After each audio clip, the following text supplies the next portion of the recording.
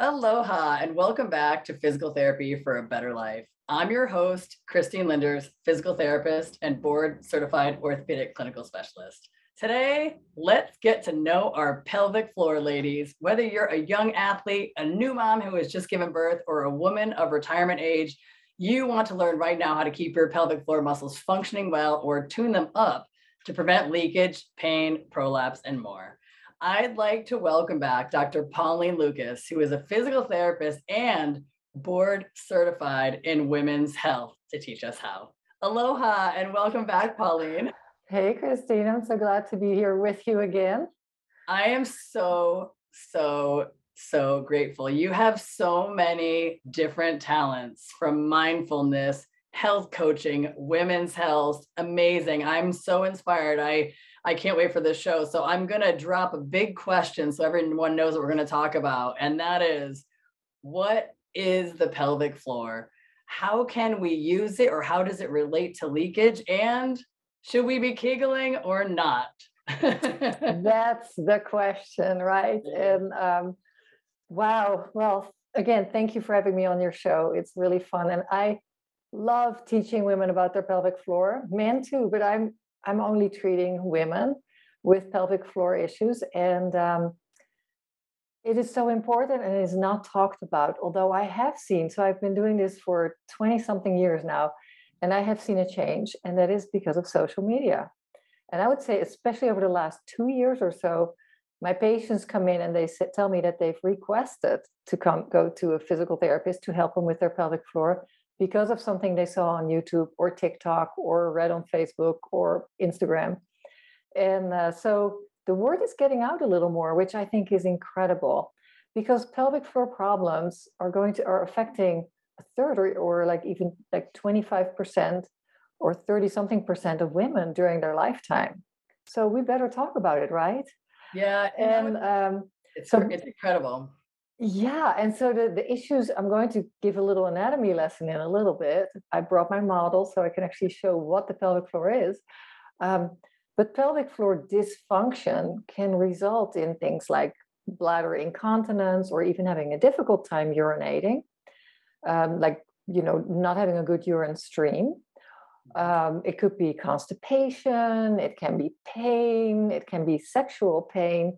So there's a lot of different things that, that can actually be related, a lot of dysfunction that can be related to pelvic floor problems. So let's start at the beginning. What is the pelvic floor? And I have to tell you, when I went to physical therapy school in the Netherlands, we talked in detail about the abdominal wall, every bit, I knew it all. And then there was a mention about this pelvic floor. And then we went right on to the hip. So I pretty much didn't know anything about it until I was pregnant and I started having problems with my pelvis, pelvic pain. And so that's when I started really learning about this pelvic floor, this, this secret pelvic floor. And uh, since then, it has been my mission to educate as many women as possible about their pelvic floor. And men have a pelvic floor too. Let's let's you know make sure that we address that. But I'm going to focus on female pelvic floor disorders there is some overlap. So if men are listening, you can absolutely keep listening because you'll learn something too. Um, but here's a pelvic, a pelvis, a female pelvis. So we do not have these screws. Just thought I'd point that out. So, so this is a female pelvis, like the way I'm sitting right now. And this here, this bone right here, if you put your hand on your hip, then you feel that bone on the top, right? If you have your hands on your hips. So this is called your iliac crest, and you have them on each side. This here is the pubic bone. And the pubic bone is really, if you're having your fingers on your belly, and when I'm with patients, this is what we do. We have an anatomy lesson, and I have them push into their belly, and it's soft, soft, soft, and then they go down until they hit that bone. Okay, now I'm going to tilt this pelvis so you can actually see the pelvic floor in more detail. So here is the sit, are the sit bones. And what I tell my patients to do is lift one of your cheeks and put your hand underneath and sit on your hand and you feel a big bone sitting right in in your hand. And when you put your fingertips around there, your fingertips are on your pelvic floor. So the pelvic floor starts here at that pubic area.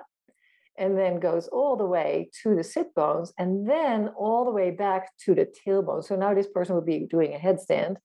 This is the backside, but here's the tailbone. So I can also show it to you this way, like that. So this is the backside. And so here's the tailbone, and the pelvic floor also attaches to that tailbone. So really, it's the whole bottom of the pelvis that is covered with the pelvic floor. Now, the pelvic floor is a collection of muscles and connective tissue, and they form the foundation, the base of, of the pelvis. Now, you may have seen when you're looking here that there's three openings. So that's where, of course, the anatomy differs from the males. And so the urethra is on the front here, right behind that pubic bone. Vagina is right there. And then the anus is right here. And we see that there's a superficial layer of muscles and connective tissue right here, and then a deeper layer. Mm-hmm. This deeper layer, in the medical terminology, we call it the levator ani, which kind of means lifting of the anus, the lifter of the anus. And in the more popular terminology, it's often referred to as the PC muscle, which is really only one part of the levator ani, but that's often what I see on popular media. And now, if you look at it from the top into it, you can see it here. So, this whole like sling of muscles almost, right? So these muscles, I'm going to continue the anatomy lesson if that's okay. Yes, please. okay. so sure these muscles have learning yeah. so much right now. So these muscles have a couple of very important jobs. Number one, to keep your female organs on the inside. Mm. Very important, right? Mm-hmm. And uh, number two, to keep us continent. So that's going to be leading into your next question, right?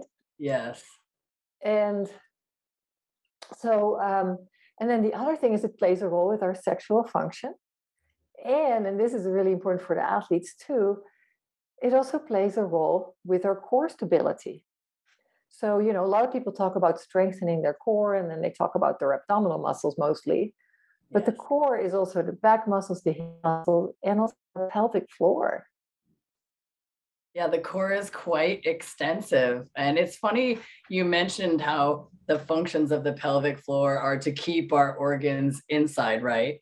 They aid in sexual function and also a part of stability. And I remember that I was in Connecticut at a sports clinic and I was teaching people pelvic floor exercises for various things. And I remember when I was having an issue in my, I think it was my early 30s, it was sports incontinence. I would, if I had to if I had to urinate and I was playing volleyball and I jumped from a landing, I would leak. And I'm like, oh my gosh, what's happening? Especially if I was menstruating at the time. That's usually when it would happen. I felt like everything was maybe weak at that one time a month. And I would leak. And I, I didn't know. I had a tailbone injury in snowboarding and I kind of connected it to that. But I, like you, didn't learn about the pelvic floor in PT school. So I went to my OBGYN and she was asking if you had any other questions. And I said, actually, yeah, I'm having having this problem. And you know, I don't, didn't ask anybody else, but she checked me and said, Oh, yours is strong, but maybe you don't have the endurance during that time of month. And she said, just do 20 Kegels a day. So 20 years later, I kind of coined the phrase with my patients 20 Kegels a day takes all your problems away. sexual function, helps with incontinence, keeps your organs inside, and works it with your core to give you stability. So I just remembered that when you were throwing out all those amazing functions of the pelvic floor. yeah. So what a great physician to give you that information, right? Amazing. I'll never forget her. I'll never forget her. That was yeah. my first interest in doing pelvic floor exercises. And then, you know, I'm craving so much more knowledge. So thank you. Mm, yeah, absolutely. Yeah. So um, so it's interesting right with athletes because often athletes are very strong but then they have incontinence and i mean sometimes when you go on youtube you can see crossfitters or you know people that lift extremely heavy and they're lo- losing urine and um, or in gymnastics mm-hmm. and it's not and you know these are strong women what can happen is really that the abdominal wall can be very strong and tight and actually putting excessive uh, pressures on the pelvic floor. That can be one thing and the other thing can be that there's just an imbalance between the abdominal wall and the and the bladder or the pelvic floor and yeah pelvic floor strength training is part of it. But what is actually really interesting too is that sometimes those muscles are too tight so the pelvic floor muscles can be too weak but they can also be too tight and when they're really tight it can also result in weakness So a lot of times I have to actually first work with my patients on relaxing the pelvic muscles and uh, lengthening the pelvic muscles, and then we work with strength training. That's amazing. Uh-huh. And often other symptoms that go hand in hand with a pelvic floor that's too tight is painful, you know, pain conditions like pain in the in the vaginal area, uh, sometimes constipation because those muscles, if they don't relax well, it's hard to have a bowel movement. Um, sometimes it's your, you know, urination that uh, uh, urine stream that's hard to initiate. Um, sometimes urgency, like the bladder is all of a sudden it's like, oh, I just have to go, and and you know we have to run to the bathroom to try and make it. And then sometimes painful intercourse can be related to that as well. That's and yeah, yeah. So that's where you when when you said, do we do Kegels or not? It kind of depends, right?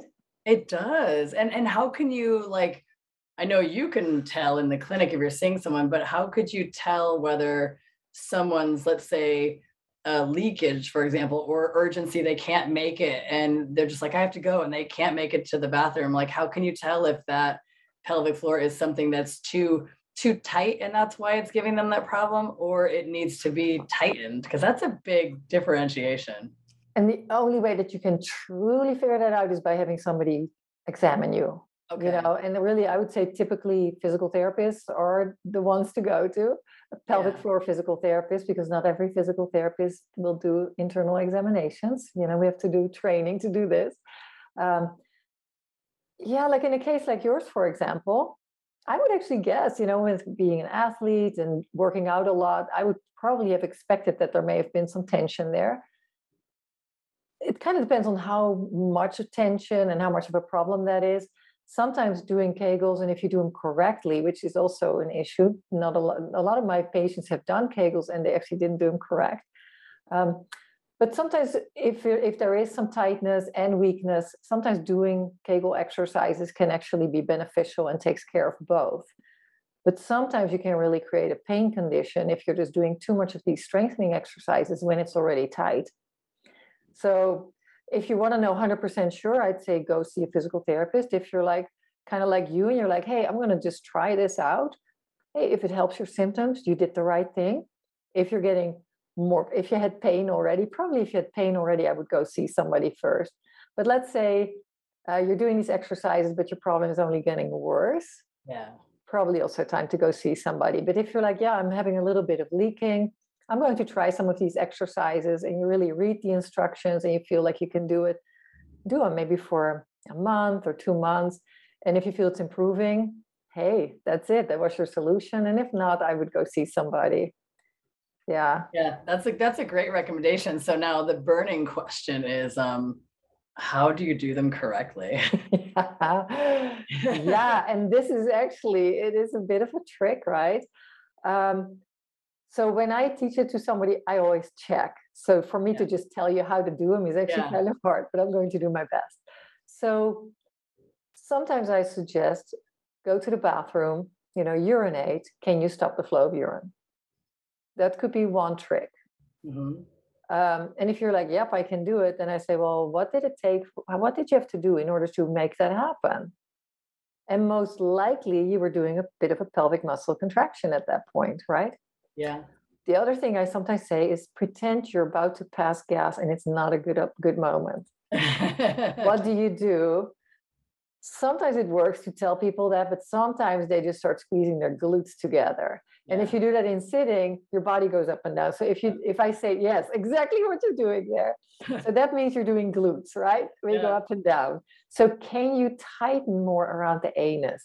Sometimes I just tell people tighten the muscles around the anus and around the vagina without tensing everything else around it. So mm-hmm. not the hip muscles, you know, not your inner thighs. The abdomen will engage a little bit. And you know, see if you can hold that. Sometimes I say pretend, this is kind of a weird one, but pretend that you're um, picking something up from the floor with your vagina muscles oh yeah. like when good. you're standing, you know. So there's different ways like that. If you're very comfortable with your own body, you can insert your finger vaginally. Yep. And can you feel a squeeze around your finger when you're when you're uh, contracting? Yeah. So those great. are some things. Or if you know, ideally, when you have your Pap smear and when you have your uh, annual exams, the doctor checks it. But unfortunately, that's not typically the case. Yeah. Ideally, in my ideal world, the gynecologist would check, you know, or your primary care physician who does your exam.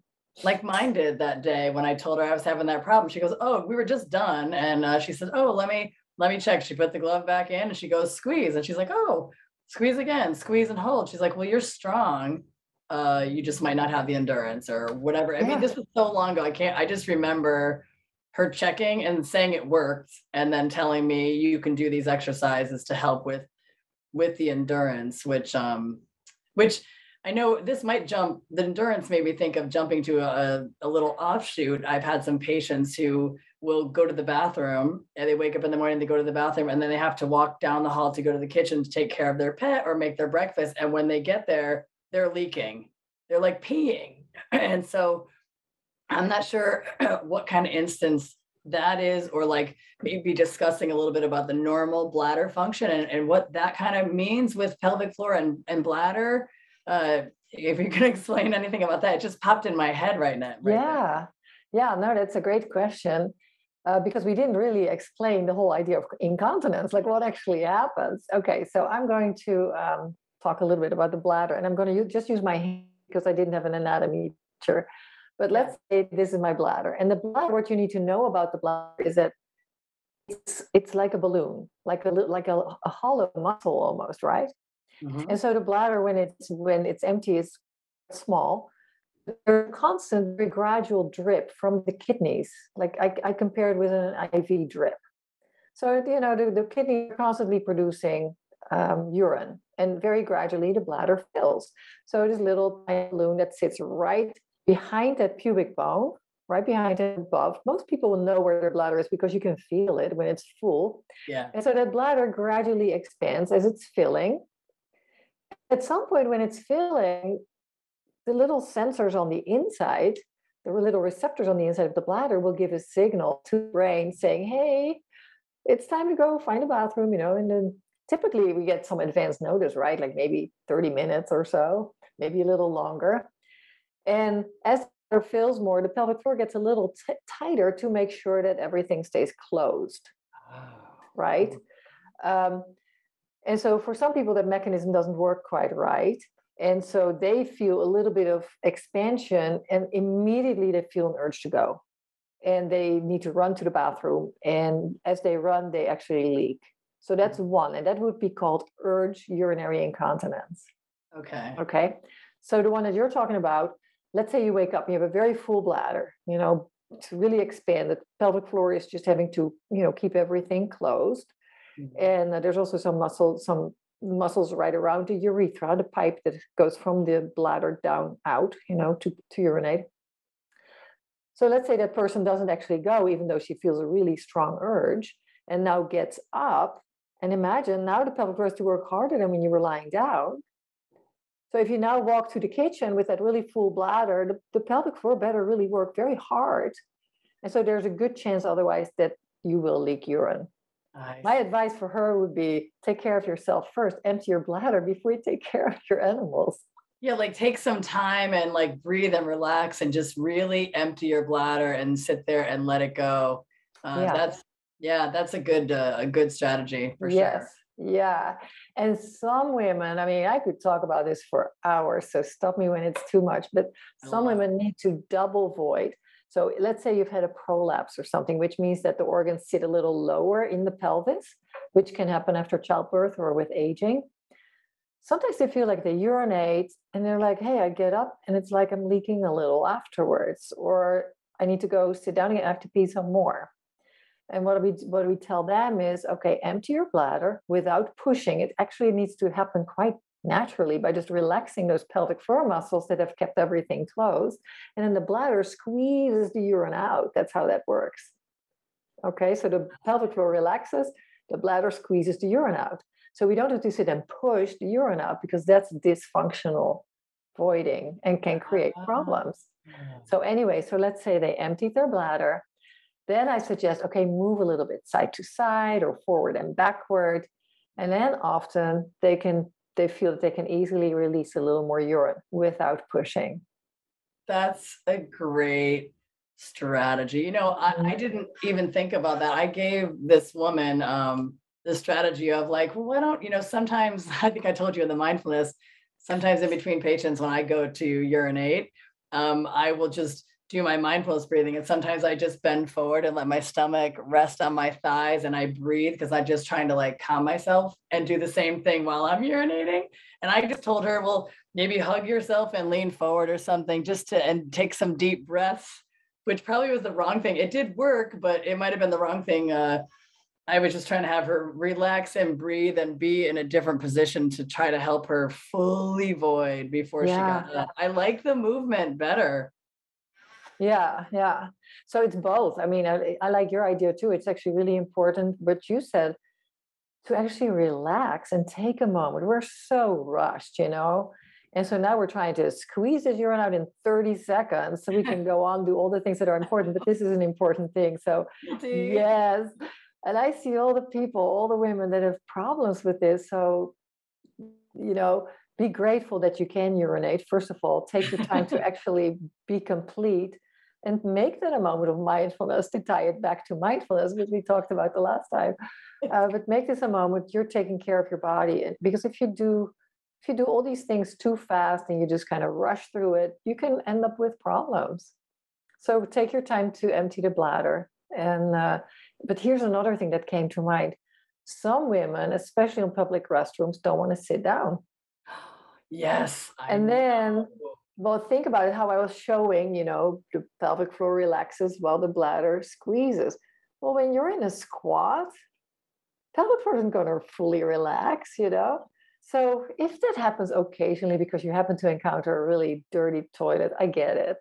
But don't make it a habit, especially if you have to frequently be on, on a public restroom. I'd say bring your disinfecting spray, use the seat covers, do whatever you need to do so you can actually sit and that that way empty your bladder.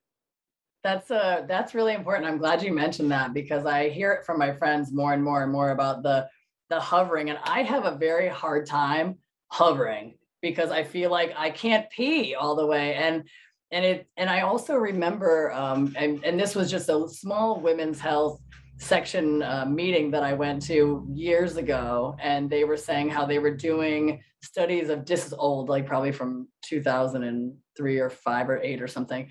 They were doing studies with women of different countries and pelvic floor weakness, and they were saying women in Asian countries that sat in the deep squat had almost no trouble with pelvic floor. And one of the exercises I used to give people is to put their legs wide, squat down, squeeze, kegel, pull their tummy in, and then stand up, squat down, squeeze, pull the tummy in, and stand up, and exercise it that way. So here we are in a in a squat that's great to exercise and already make the pelvic floor engage And then we're trying to relax it at the same time.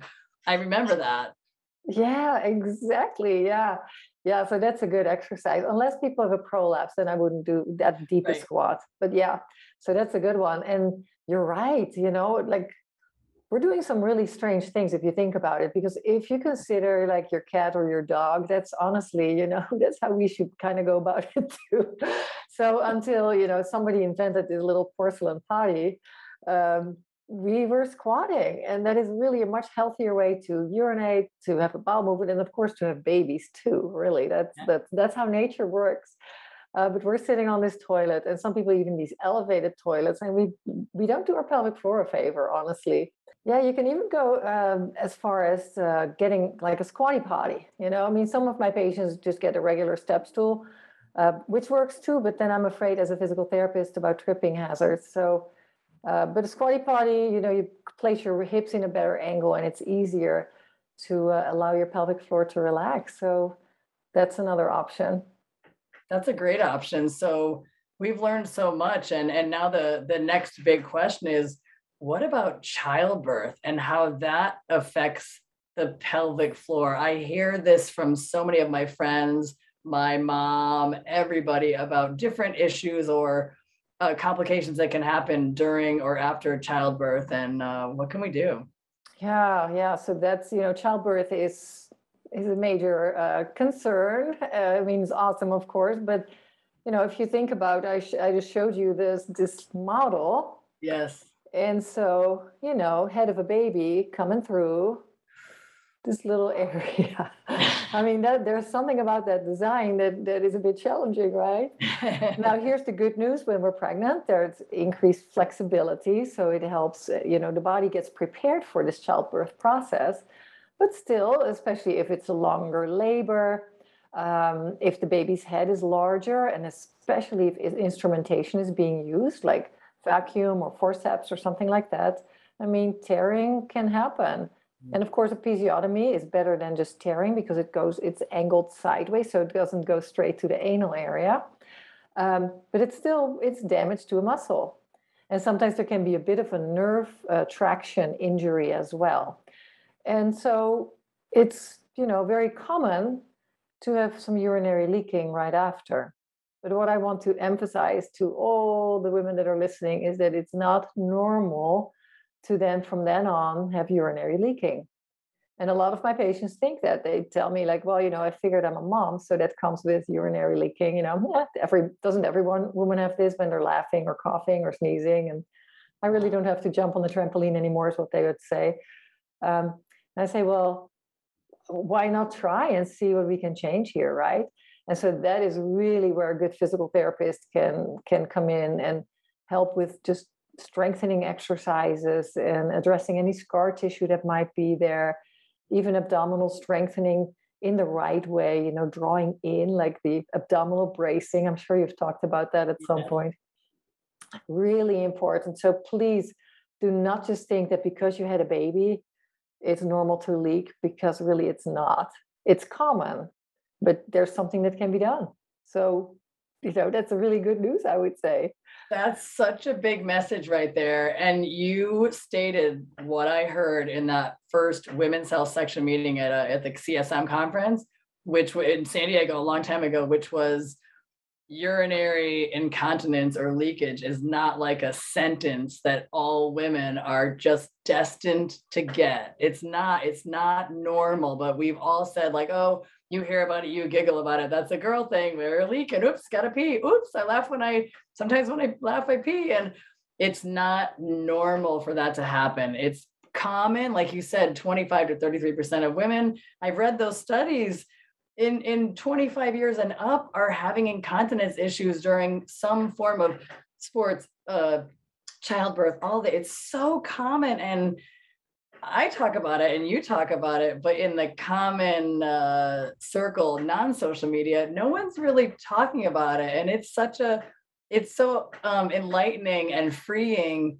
to know that there's something you can do. There's someone you can go to for help. Like you're saying, uh, people are seeing social media and saying, oh my gosh, wait, I, I can get help with this. I love that the word is getting out there. I love that this show is gonna it touched so many people. yeah, yeah. So yeah, and it's not only about doing Kegels, it has to do with also training the hip muscles and the abdominal muscles and you're, you know, learning to breathe correctly. There, there's a lot to it, but just starting super simple with just some basic core strengthening, including these pelvic floor muscles. And if any doubt, really ask your doctor to refer you to a physical therapist. Um, if you know some insurance is allowed to just go straight to the to the physical therapist without a referral, but otherwise your OBGYN or your primary care doctor have them refer you to a physical therapist and do an evaluation. That's great. That's great. So I think that we're kind of almost out of time. And I just want to know uh, this has been so amazing the education of the pelvic floor and showing the pelvis and showing us all the intricacy and of the pelvic floor and all the jobs. It's like um, Pandora's box, right? We could talk for for five weeks about this subject in and out. But is there any last words you want to share with everybody before we close? Um, my last words are your pelvic floor is really important. And if it's not functioning right, if you have painful sex, if you are leaking urine, you know, with all these things, there's help available. So don't just take it for granted. Don't just accept it, but get help. That's I've seen just so many improvements in my patients, and I wish that for everybody. And I know that people can get in touch with you um, to talk to you about it through your website. Is that right? Yeah, actually, you know, I work for Mayo Clinic in Arizona, and so for for the pelvic health, they can just reach out to Mayo Clinic in Arizona. Excellent. Yeah. That is excellent. So thank you so much, Dr. Pauline Lucas, for coming on and teaching us a wealth of information, opening Pandora's box. Um, I am so grateful to you. Thank you very much. Well, thank you for having me again. It was awesome. Excellent. Life is better when you listen to your physical therapist. Thanks, Take the Think Tech Hawaii. Aloha, everyone.